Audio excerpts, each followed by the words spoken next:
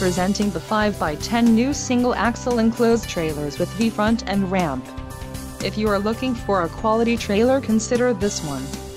This unit is priced just right and comes equipped with many desirable features. For more details on this unit's features and options, follow the link in the description below.